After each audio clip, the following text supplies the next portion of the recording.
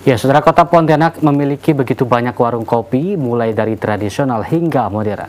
Para pengunjung warung kopi tersebut mulai dari anak muda hingga orang tua.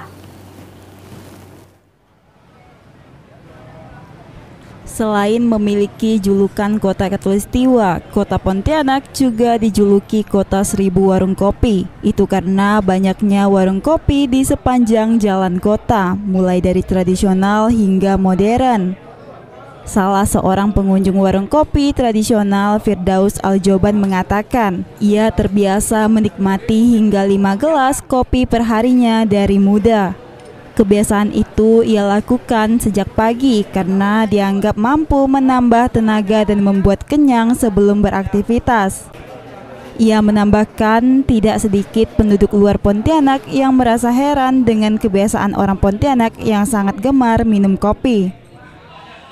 Kopi ini memang sudah terbiasa. Ya mungkin buat buat tambah tenaga bisa juga. Ya betul lah kalau banyak ngopi ini kadang-kadang mengurangi nafsu makan, terutama gulanya lah.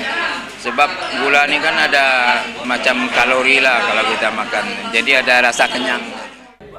Aktivitas kopi pagi yang kerap dilakukan warga Pontianak di warung kopi tetap menerapkan protokol kesehatan, mengingat masih dalam kondisi pandemi COVID-19. Tim Liputan TPRI Kalbar melaporkan.